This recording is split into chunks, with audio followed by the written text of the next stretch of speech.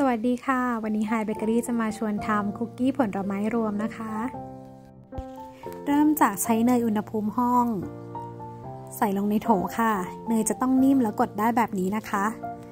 ตามด้วยน้ำตาล กดเนยกับน้ำตาลประมาณนึงก่อน เพื่อไม่ให้น้ำตาลฟุ้งค่ะ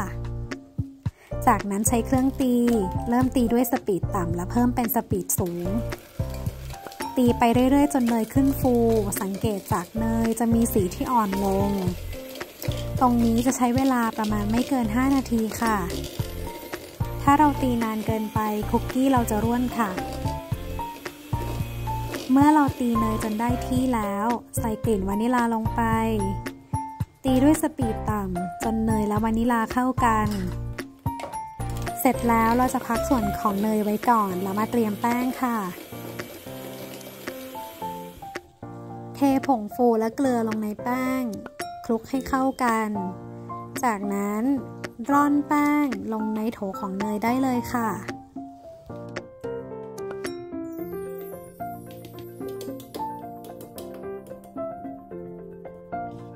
ใช้ไม้พายคลุกแป้งกับเนยจนหมดผงแป้ง หรือส่วนนี้ใครจะใช้เครื่องตีก็ได้นะคะ ใช้สปีดต่ำตีไปจนกระทั่งหมดผงแป้งเช่นกัน เมื่อหมดผงแป้งแล้ว ก็หยุดได้เลยค่ะ ถ้าเราตีนานเกินไปคุกกี้เราจะเหนียว ใส่ผลไม้รวมที่เราเตรียมไว้ แต่งไว้นิดหน่อยนะคะ เผื่อเอาไว้แต่งหน้าก่อนเข้าอบ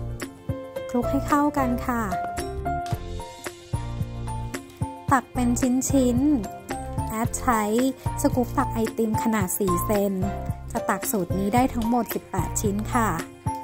เราจะตักให้มีระยะห่างนิดหน่อย เพื่อที่คุกกี้จะได้มีพื้นที่ในการขยายตัวนะคะนำผลไม้ที่เราแบ่งไว้มาแต่งหน้าเพื่อความสวยงาม